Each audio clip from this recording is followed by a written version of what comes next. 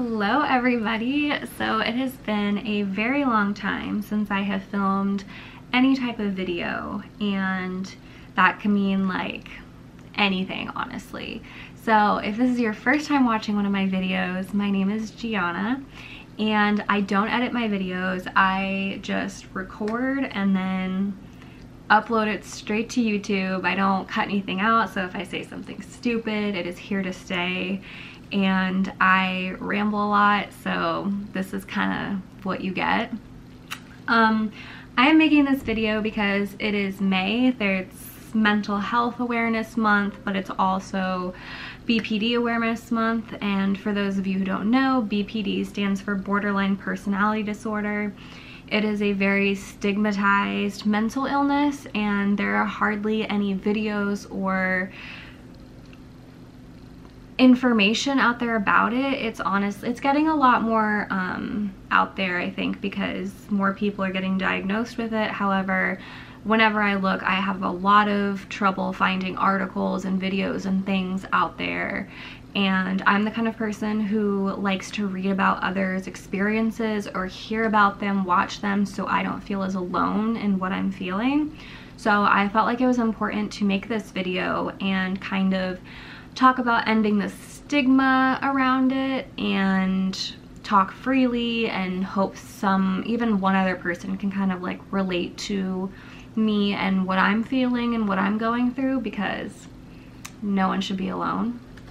And yeah, so this is kind of difficult to talk about because I still, I got diagnosed when I was 19 and I am 24 and it has been a long five years coming to terms with this and figuring out what it means and it entails so much and I'm here to try and explain a little bit of it. So I have a bunch of books here. I have a lot of books and I highlight them. I work with my therapist every week about it. Um, it's continuous, it's continuous work and I have highlighted things that I'm going to talk about and the first thing that I wanted to show everyone and discuss was the, where is it? The nine symptoms of it. So let's see, the first, the first symptom is frantic efforts to avoid real or imagined abandonment. So that means that that's very that's one thing I struggle with the most is abandonment.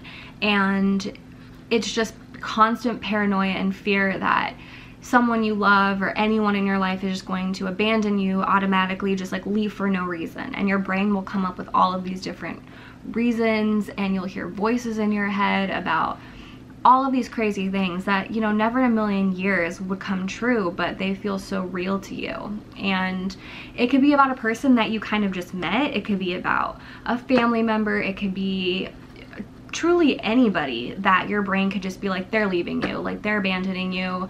There's not going to be a reason, or there is going to be a reason, or because you said this thing last Tuesday on accident, like they're going to be done with you. Like it's constant fear and it, it's probably one of the worst things about this. It really sucks. And for these symptoms, you need you need to have like five of them out of the nine to categorize yourself as being diagnosed with BPD. That's what I've read and heard. So the first one is to avoid abandonment, which also causes people to act very intensely to avoid being abandoned. The second one is unstable and intense interpersonal relationships alternating between extremes of idolation and devaluation. Sometimes I read things wrong, like I pronounce them wrong because I know this doesn't sound correct, but I'm dyslexic, so sometimes I read things backwards, so like they come out wrong. Anyways, hopefully you guys understand what I mean. So this is kind of what we call splitting in BPD language. It means we either think of someone as like, on a pedestal, like God tier, best thing in the world, or we go to like, they're horrible, they suck, like they're toxic, all of that. So it's like, when we're in that mindset, it's like you're either the best or you're the worst. And it's hard to find any gray area. It's like black or white. I do that a lot of times. It's a big part of it. The third one is lack of clear and consistent sense of identity and self-image.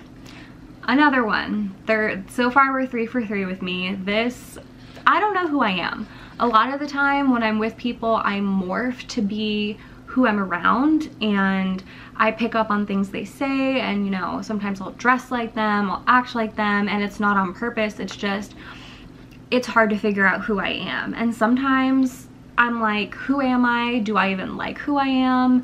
Am I just my illness? Am I, I sometimes I feel nothing. So I'm like, am I nothing? I still to this day don't really know. And I've been on so many medications. I've been on so many different journeys and things that like I like have shaped who I am. But still at the end of the day when I go to sleep, like I can't really pinpoint who that person is.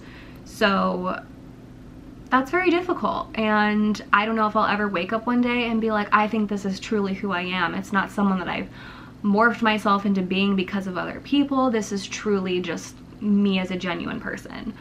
So maybe that'll happen. Maybe I will you know learn more about it and get to that point. But as of right now me being real I don't know who I am. And I guess that's okay. I have to tell myself it's okay so I don't hate myself, but we're gonna say that it's okay. All right. Number four, this one does not apply to me as much, but we'll get into that. So it says impulsiveness in potentially self-damaging behaviors such as drug abuse, spending, sex, binge eating, reckless driving.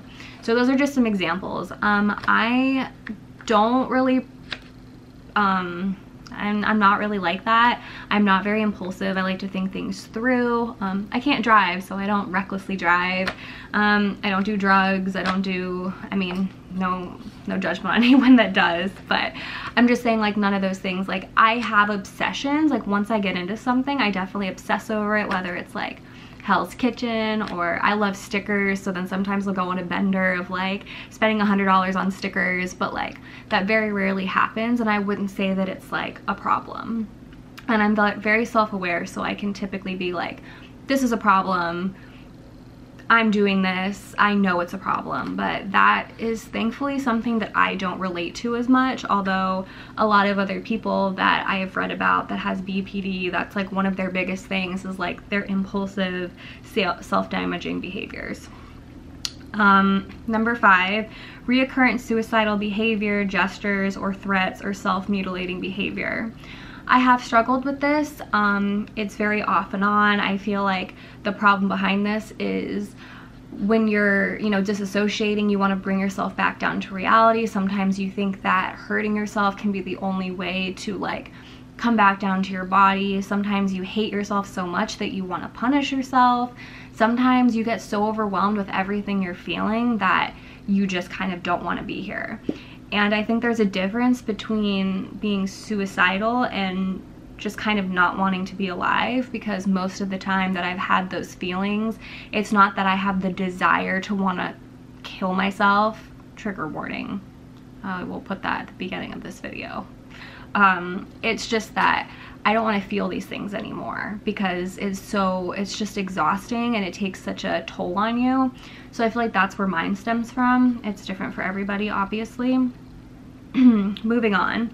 Number six, several mood changes and extreme reactivity to situational stresses. Probably my second one that I'm like most, most relate to. Um, my mood swings, I, one second I'm like, so happy for no reason. Like I got the best news in the world and then the next minute it's like like the sinking feeling in my chest. Like I got the worst news. Someone died. I lost my job. I lost my best friend. Like and it's so hard to explain to people that it's like oh they're like what's wrong? And you're like I don't know. And they're like well why are you sad? I don't know. Most of the time I don't know. And sometimes people get frustrated with me because they're like well there has to be a reason. Like and it's like, if you ask me how I'm feeling in the span of an hour, like you're gonna get a different answer every, every 10 minutes. And as frustrating as it is for some people who will ask me that, it is just as frustrating being me experiencing that because I wish I had reasons. Like if I'm sad, like that's fine in the sense of I want to have a reason to be sad. I want to have a reason to be happy. It's hard having nothing behind those emotions and trying to cope with them and explain to others where you're at. So I definitely struggle the most with mood swings. I definitely, it's, that's definitely been such a struggle for me and trying to figure out what, if what I'm feeling is real. And I know that everything I feel is valid and real, but I have to like tell myself that in order to pull myself out of feeling sometimes that nothing happened, there's no reason to be reacting this way, so I need to feel what I'm feeling and then I need to move past it. So number seven in symptoms is chronic feelings of emptiness. Another huge one for me no matter where I am or what I'm doing, I always feel very empty inside. I feel like I'm missing something. I feel hollow. That's like, even when I'm on a high or like happy from my mood swings, like there's always an emptiness in me. And I'll be quite honest, it sucks. Like, I it's not fun and that's really all I can say to describe it but I feel it like deep in my soul every day when I go to sleep it's just there's that just chronic emptiness inside of me. And that sucks.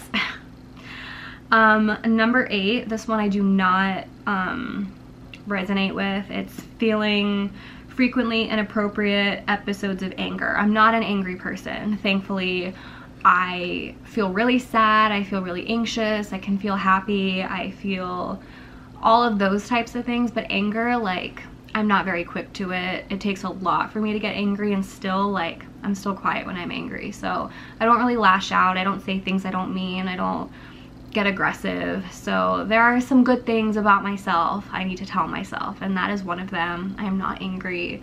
I'm a very peaceful person despite the emotional turmoil of sadness. so there's that.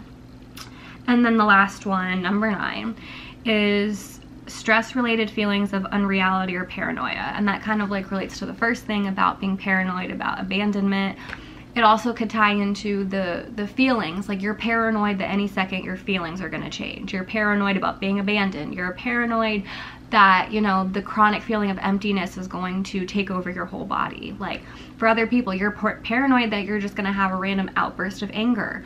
You're paranoid that you're going to you know have a moment where you need to do something impulsive and reckless and you're gonna go spend all your money. Like it just it ties into a lot of different things of all of the other symptoms. So I feel like that's a very big one on most of everyone's list. But out of the nine or I have them highlighted I have seven out of nine. So I am you know I wouldn't say I'm the poster girl for BPD but I do have I do have a few checks and I'm making it seem like that's something to be proud of, but you know, it's, it's what it is. And I think that one of the biggest problems with this is if you Google, like this book is called Talking to a Loved One with Borderline Personality Disorder. And I haven't read it all the way through. Like I have certain things in here I've, you know, highlighted. Um, this part was really interesting. It says, many of the defining features of BPD syndrome are painfully primarily internalized experiences. Internalized obviously means like in your own body. It says abandonment fears, insecurities about relationships, feelings of emptiness, and a blurred sense of identity may be hidden from others.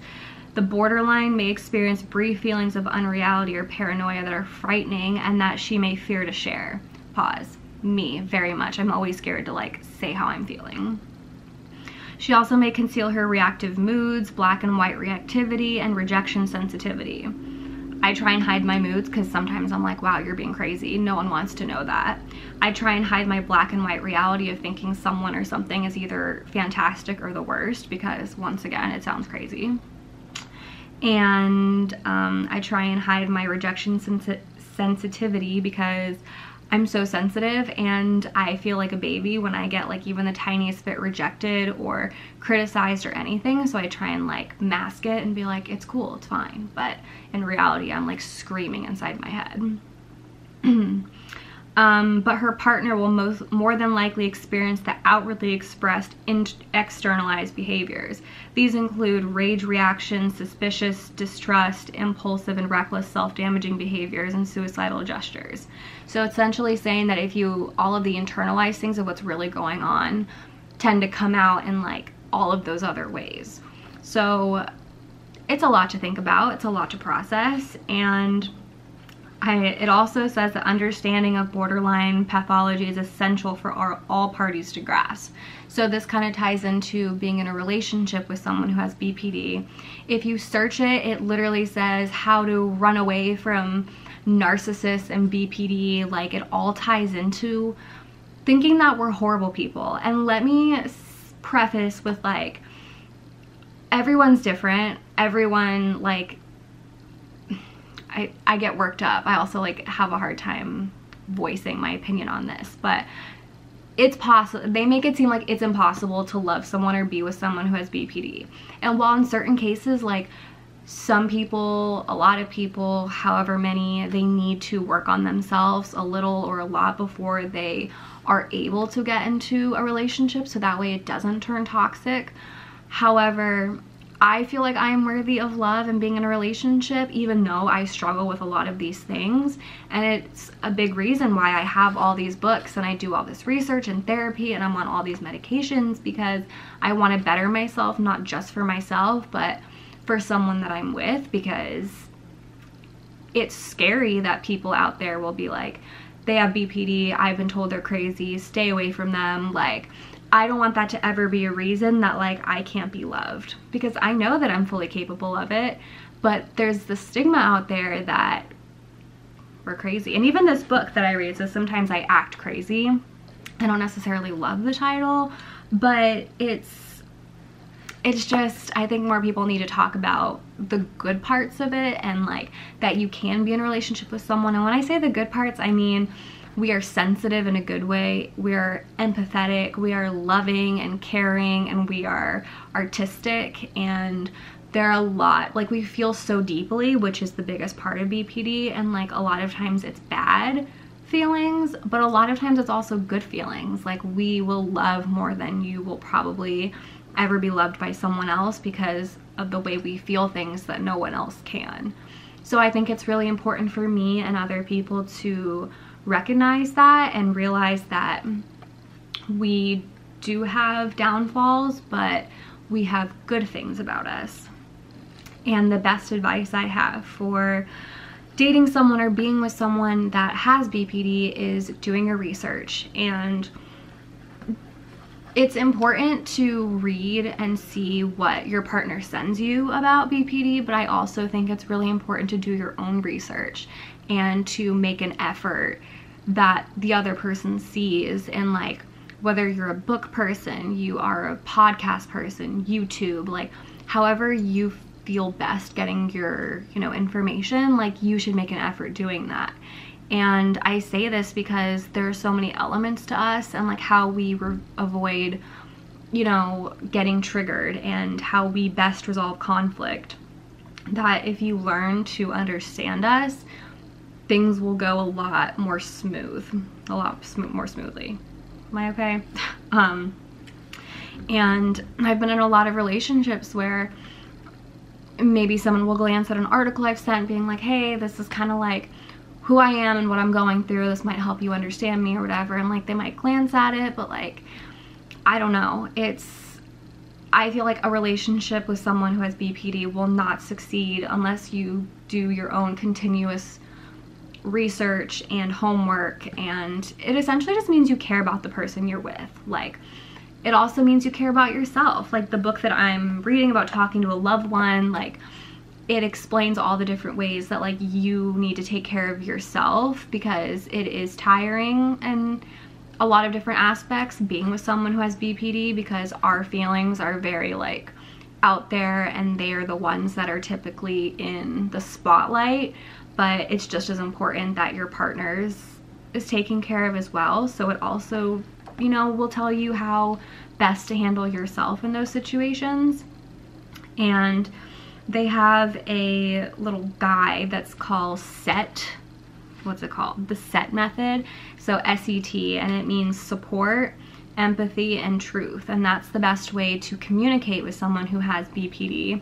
So you're supposed to support them and be like, you know, I what do you need? I support you. Like, what's going on? And then the empathy part is like, I I can't even imagine how you're feeling. Like, that must be so hard. Like, you're empathizing with what they're saying or what's going on because it's not up to you to say, you know, it could be worse or like that's not something to be upset about. Like, those are fighting words for someone like us. Like, don't say something like that. And then T for truth, it means like you're not supposed to just, just because we're feeling this doesn't mean that like you're supposed to, what's the word? Hold on, I want to find it so I can be accurate in what I'm saying. Hold on. I want, I really want to. Okay, so it says right here, support is not identification. Saying like, yeah, that happened to me too is not helpful. Empathy is not sympathy. So you shouldn't say, I feel so sorry for you because that sounds condescending.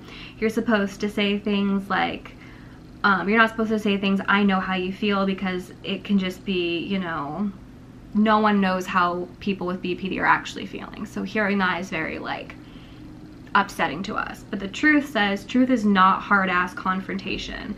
Truth does not invalidate the BP's experience. Statements such as you're overreacting or that's not what happened invite arguments that won't be resolved. so I think that the truth part is so you're not how do I phrase it? Um the truth segment of SET, S-E-T, is facing reality, but also you were supportive and empathetic first. So it's not like you're coming at them with like, this is the truth of the matter, like, because then someone will be, then I would be like, okay, clearly you don't care about how I'm feeling or that I need support. You're just like coming at me with a solution. Like, I think that first and foremost, you need to validate, you need to emphasize and really show that you're there for the person before you're like, okay, this is how we fix it or what are we gonna do about it. That's just kind of what it gets at and I think that's a really good way to look at it. Um, another thing that I think is important is if you hate your diagnosis, like that's okay. You know, I have spent a lot of years being so pissed off that like this is how I am and this is who I am and I'm just like this is unfair. I just want to be normal. I want to feel what other people feel. I don't want to cry every 5 seconds because someone said okay instead of okay AY. Like literally that's all it takes for me to like have a full-blown panic attack, think someone's abandoning me, waking up every day even if something good is happening and feeling like chronic emptiness like trying to explain to others how I feel when no one ever gets it. All of these things it's just like it makes you kind of hate yourself and hate your diagnosis. And so many people tell you like you're not supposed to do that. It's who you are. And truly like maybe this is bad advice so take it with a grain of salt but like you choose how you feel about your diagnosis, regardless if it's this or anything else. Like, healing is different for everyone, and I feel like this is something that, in order to process, you kind of like need to do your own thinking about it, and no one can tell you that, like, okay, everything's fine, you just gotta move past it. Because this is technically something that people can heal from, they say. BPD people are able to you know, work towards being undiagnosed if you do enough of like the groundwork. And some people will be like, the sooner you accept it and get help, the faster you can be over it. And there's some people that may never be over it. And putting unrealistic expectations on them is kind of damaging. And I would put them on myself. I'm like, I'm not reading enough books, I'm not doing enough therapy. Like, I tried to get myself into CBT, cognitive behavioral therapy, which like rewires your brain and my video camera shut off. Okay. Um, tries to like rewire your brain and I just, I felt guilty because I'm like all those years that I just spent like hating my diagnosis when I should have been doing something about it. And then I had to tell myself that it's kind of like it is but it isn't. Like i deal with grief from losing my father and i think that in a way no one can tell you how to grieve. No one can tell you how long it takes to get over that and start accepting what actually happened or what is actually going on so i feel like it's something like this that it's on your terms like whether it takes a month or 10 years I feel like you should always be constantly working on yourself and self-aware, but how long it takes you to come to terms with your own diagnosis and your own life, that's up to you. And even still to this day, like I will read things and I'm just like, this isn't fair. Like, why can't I just be normal? Like, why can't I just wake up and feel an emotion, you know, and then keep that for a little bit? Like, why does it always have to be different? And that's okay that I think that way. Anyone else, that's okay. You don't have to be sunshine and rainbows about it. It is a difficult, difficult disorder and it sucks. So that's that. Um, they say that a lot of, I don't remember the percentage, but a lot of people who have BPD, it's because of their childhood growing up. It can be from having unstable parents and unstable households, all of those things. Um, I don't believe mine was that way. I feel like there are certain things that kind of contributed to how I am now. Like the fear of abandonment, I definitely feel like is because my father was terminally ill my whole life and I was always so scared of leave, like losing him and then when I finally did at age 16 it was like the ultimate abandonment like not not by his choice obviously. However like a lot of my paranoia of people leaving i'm always like they're gonna die like and that's obviously it doesn't take a genius to know like where that came from but even as a child i was always very anxious and quiet. I was so sensitive. Like my mom would always be like stop being sensitive. Like at a restaurant like i'm terrified to say anything like to a waiter if i get my food wrong. Like I could be given food I'm allergic to and I still would probably eat it because like I'm terrified of confrontation. Like these are all things that go into it and I feel like had I known that, like no one can really diagnose a small child with BPD, but it's all just kind of similar things that you look back on as a child, your situations, your feelings, you know, your family members, and then you kind of like figure out who you are now, like a lot of those can, they play a factor into it. And I'm thankful that I have clarity now about who I am and what I'm dealing with. I still don't know who I am. Like, I didn't change my mind about that in 20 minutes. but I mean who I am in the sense of like understanding what this disorder means and that I would love to have a fulfilling life someday not to say I don't have one now, but the chronic emptiness makes me feel like I'm missing a lot and I know there's a lot that I miss out on due to things that I pull myself away from and that also really sucks. Like I will feel like I am being excluded when I'm the one excluding myself.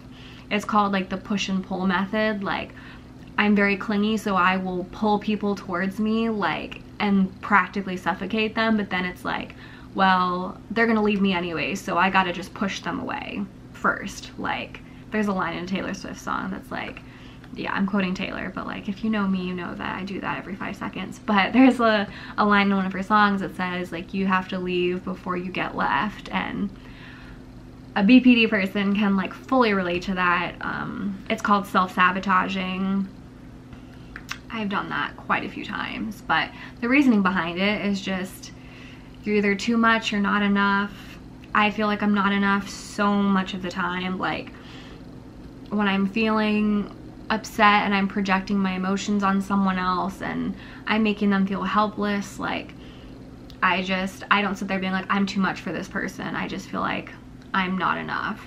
And I want to get to the point where I like myself enough and I feel better about myself and that I don't project insecurities and paranoia onto friends and family and especially who I date because I want healthy lasting relationships and I know that I have a lot, a lot to give. I have a huge heart. I'm very empathetic. I have good qualities about myself. There's just a lot to tackle with this. And to sum it all up, the best thing you can do for someone in your life that has BPD is take initiative, do your own research. It like warms our hearts to know that like you're trying to understand the hardest thing that we go through for having someone with BPD. You got this. It sucks and it's hard and some days are much harder than others, but once you're ready to buy the books and do the therapy and all of that when you wake up in the morning and you're like okay i'm i feel like i'm accepting this and like i want to slowly get into learning and not changing who you are but working towards getting better i think that it's possible and writing helps a lot. Writing out your emotions in a journal or whatever that definitely helps me a lot. Reading these books has helped.